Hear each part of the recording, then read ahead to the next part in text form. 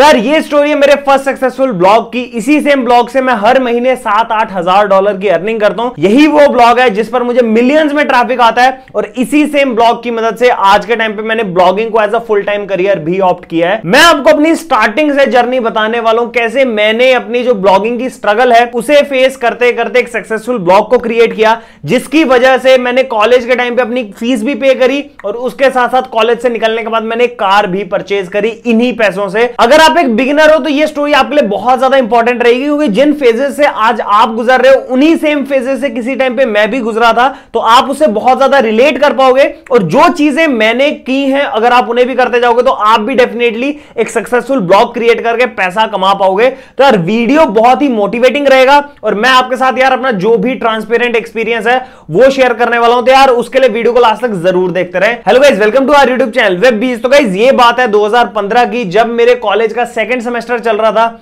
उस टाइम पे मेरे दिमाग में यही था कि भाई मैं कुछ अपने कॉलेज में करूँ ताकि मैं अपनी एक साइड इनकम कर सकूँ। मेरे पापा मुझे हर महीने दो तीन हज़ार रुपए देते थे। मैं चाहता था कि मुझे दो तीन हज़ार एक्स्ट्रा बन जाए, जो छह सात हज़ार रुपए मेरे बनेंगे। उससे मैं कॉलेज के टाइम पे अयाशी कर सकूँ। और जो अयाशी होती है, वो है कि यार हमने समोसे खा लिए, पराठे खा लिए। जब मन करे छोले भटूरे खाने का, वो सब कुछ कर लिया। आपके साथ भी ऐसा होता होगा कि आपको भी दिखता है कि कॉलेज के टाइम पे कुछ लोग ज़्यादा पैसा खर्च रहे हैं, आपके पास कम पैसे हैं या फिर आप मिडिल क्लास से हो तो आप शायद उतना पैसा नहीं स्पेंड कर पा रहे हो। तो इसी रीजन की वजह से मैंने ब्लॉगिंग स्टार्ट करी और शायद यही आपका भी रीजन रहेगा। मेरे कॉलेज में उसी टाइम पर एक दोस्त था जो कि ब्लॉगिंग की मदद से बहुत ज़्यादा महँगे गैजेट्स लेता था, उसका लाइफस्टाइल बहुत अच्छा था।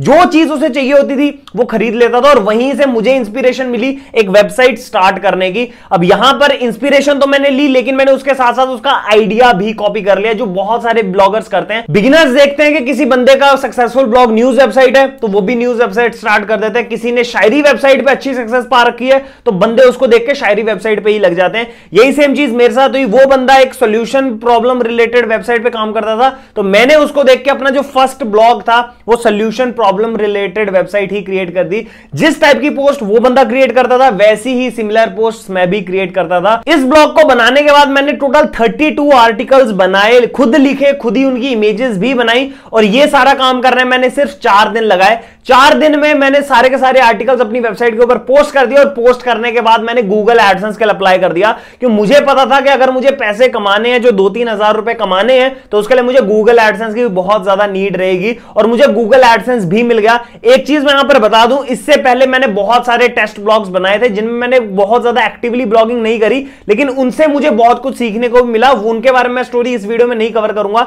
ये मेरा एक फ़र्स्ट प्रॉपर ब्लॉग था और इस पर मुझे गूगल एडसेंस का अप्रूवल भी मिल गया। एडसेंस अप्रूवल इतनी जल्दी बिगिनर्स को नहीं मिलता है लेकिन मैंने अपने पास्ट एक्सपीरियंस से सीखा था, मैंने सारा का सारा ओरिजिनल कंटेंट रखा तो मुझे अप्रूवल मिल गया। अप्रूवल मिलने के बाद मेरा सारा का सारा फोकस गूगल एडसेंस की स्क्रीन के ऊपर ही रह गया। मैंने कोई आर्टिकल पोस्ट नहीं करा, मैंने कोई साइट को अपडेट नहीं करा। मैं रोज गूगल एडसेंस का जो डैशबोर्ड है, उसे खोल के अपनी अर्निंग को चेक करता था रिफ्रेश करते जाना और वहाँ पे डॉलर बढ़ते हुए देखना।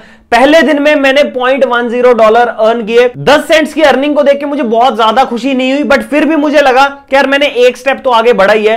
सेकेंड डे पे मुझे दो क्लिक्स कनाडा से आ गए और मेरी जो अर्निंग थी वो 4.5 डॉलर के आसपास हो गई। और उस टाइम पे यार मैं इतना ज़्यादा खुश हो गया कि यार एक दिन में मैंने चार डॉलर कमाए हैं तो मैं सौ दिन में 400 डॉलर कमाऊँगा और हज़ार दिन में मेरे चार हज़ार डॉलर बन जाएँगे।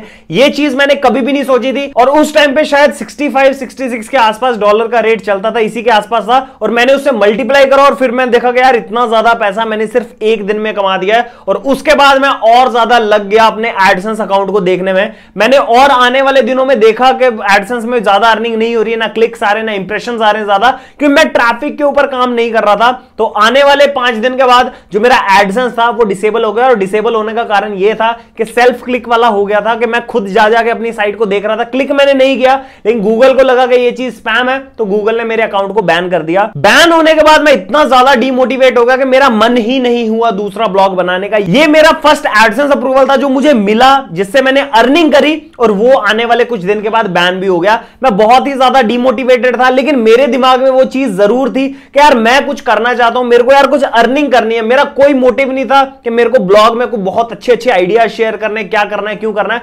मेरा सिंपल सा काम था, अगर कोई बंदा दस हज़ार रुपए कमा रहा है तो मुझे एक हज़ार रुपए कमाने पाँच सौ रुपए कमाने मेरे को कोई करोड़पति बनने की कोई भी आइडिया नहीं था। मेरे को सिंपल हल्का सा अपना जो खर्चा है, वो निकालना था और वही सेम चीज़ मेरी मोटिवेशन भी थी। इसी डायरेक्शन में मैंने फिर और ब्लॉग्स को क्रिएट किया। सेम निश के अंदर ही मैं काम करता गया। मुझे सक्सेस बिल्कुल भी नहीं मिली और इस चीज़ का मेन रीजन यार ये था कि मैं दूसरे को देख के अपना जो काम था वो कर रहा था। जिस निश में वो काम कर रहा है, वही सेम चीज़ मैं कर रहा हूँ। इस चीज़ में क्या होता है कि हम दूसरे को देख लेते हैं यार कि वो बढ़िया कर रहा है तो मैं भी कर लूँगा। लेकिन क्या होता है कि वो बंदा उस चीज़ के अंदर इंटरेस्टेड होता है, शायद उसलिए उसने ये चीज़ स्टार्ट करी हो, शायद मैं उस चीज़ के लिए ना बनाऊँ। और यही सेम चीज़ हुई कि मैंने अपने पाँच छह ब्लॉग्स क्रिएट किए वेबसाइट्स में डोमेन खरीदता था होस्टिंग मेरे पास पड़ी रहती थी, और उसके साथ साथ मैं अपनी जो वेबसाइट थी, वो बनाता जाता था, लेकिन मुझे कहीं भी सक्सेस नहीं मिली। इसके बाद मैंने थोड़ी बहुत रिसर्च करी, मुझे एस का पता चला कीवर्ड्स का पता चला, और मैंने फिर उसके हिसाब से एक टॉपिक को डिसाइड करा। ये टॉपिक मेरे इंटरेस्ट के रिलेटेड था, क्योंकि यहाँ पर मैंने कोडिंग पकड़ा, और मैंने इसका इंस्पिरेशनल स्टोरीज पकड़ा।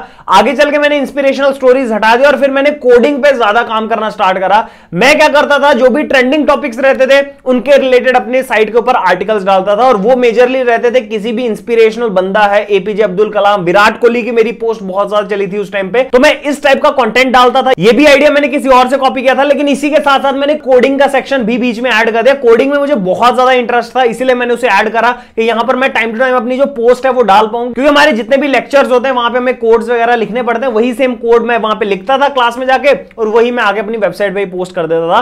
तो ये चीज़ से क्या हुआ? मैं कंटिन्यूसली कंटेंट पोस्ट करता गया। साइड बाय साइड में अपनी जो इंस्पिरेशनल पोस्ट रहती थी, वो कभी मैंने लिख दी, कभी मेरे ब्रदर ने लिख दी। हम वीक में एक आधी पोस्ट लिख के डाल देते थे किसी भी इंस्पिरेशनल बंदे के बारे में। तो इससे क्या हुआ? हमें इंस्पिरेशनल वाली साइड से कुछ ट्रैफ़िक आने लग गया, कुछ हमारी पोस्ट रैंक कर गई, सातवें, आठवें नंबर पे रैंडमली कहीं रैंक कर गई और उससे हमें ट्रैफ़िक इनिशियल आने लग गया। इनिशियल ट्रैफ़िक को देख के मुझे बहुत ज़्यादा मोटिवेशन मिली और मेरी कुछ पोस्ट गूगल की टॉप पोजिशन पे रैंक कर गई। कोडिंग निश के अंदर और इस तरीके से मेरी साइट के ऊपर बहुत बढ़िया सा ट्रैफ़िक आने लग गया। जैसे जैसे मेरी साइट ग्रो करती गई, मैं अपनी साइट के ऊपर टॉपिक्स को ऐड करता गया। जहाँ जहाँ से मुझे ट्रैफ़िक का सोर्स लग रहा था कि यार यहाँ से ट्रैफ़िक आ सकता है, इस कीवर्ड से ट्रैफ़िक आ सकता है, इस निश से ट्रैफ़िक आ सकता है, वो सब कुछ मैं अपनी साइट के ऊपर डालता गया। मेरी साइट के ऊपर कोई भी मेरा आइडिया नहीं था कि यार मुझे इससे बहुत ज़्यादा अर्निंग करनी है मुझे इस चीज़ के बारे में आइडिया शेयर करना है। मेरा सिंपल सा फोकस था कि मुझे कुछ आर्टिकल लिख के ट्रैफ़िक डाइवर्ट करना ताकि अगर ट्रैफ़िक आएगा तो मैं डेफिनेटली कभी ना कभी अर्निंग तो कर ही लूँगा। और यही सेम चीज़ रही कि मेरी साइट पे धीरे धीरे ट्रैफ़िक आता गया ट्रैफ़िक आता गया। मैंने इसको मोनिटाइज बिल्कुल भी नहीं किया। जैसे जैसे मेरी साइट के ऊपर ट्रैफ़िक बढ़ता गया, मैं और ज़्यादा काम करने लग गया। ये जो काम का मैंने आपको बताया है कि मेरी साइट के ऊपर ट्रैफ़िक आने लग गया, इसमें बहुत ज़्यादा टाइम लगा। ये ऐसा नहीं है कि दो चार दिन में मेरी साइट के ऊपर ट्रैफ़िक आने लग गया और ये सब कुछ बढ़ गया।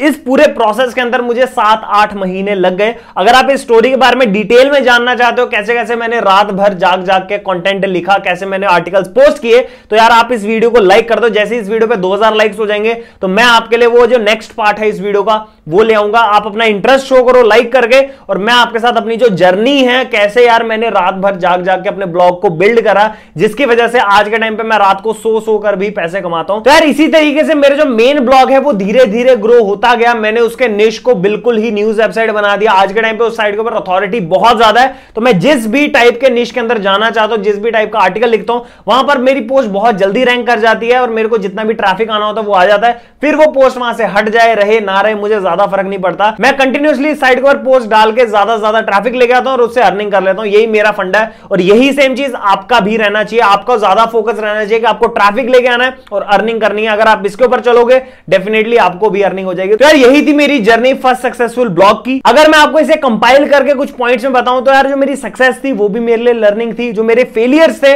वो भी मेरे लिए लर्निंग रहे। इसके साथ साथ जो मेरी मिस्टेक्स थी, वो भी मेरे लिए लर्निंग रही और इसके साथ साथ जो जो मैंने सीखा लर्न किया, उसे मैंने इंप्लीमेंट करा और वही रीजन है कि मैं सीखते सीखते ग्रो हुआ और मेरे ब्लॉग्स भी ग्रो हुए और मेरी अर्निंग भी ग्रो हुई। आई होप आपको ये जो मेरी स्टोरी है, इसमें से कुछ पार्ट रिलेटेबल लगा होगा अगर लगा तो यार डेफिनेटली मुझे कमेंट सेक्शन बता देना और एक चीज़ मैं आपको बता दूँ, अगर आप इस जर्नी में किसी भी एंड पे आपने भी स्टार्ट किया है ब्लॉग या आपको भी सक्सेस नहीं मिल रही है, आपको एडसेंस अप्रूवल नहीं मिल रहा है, या फिर आपका एडसेंस डिसेबल हो गया है, या फिर आपको ट्रैफ़िक नहीं आ रहा है आप अभी इस जर्नी में किसी एंड पर हो तो डेफिनेटली यार मुझे कमेंट सेक्शन में बता देना। और एक चीज़ मैं आपको बता दूँ कि आप अगर काम लगातार करते रहोगे तो आप भी डेफिनेटली धीरे धीरे इस जर्नी में आगे बढ़ते जाओगे और आपको भी एक दिन सक्सेस मिलेगी।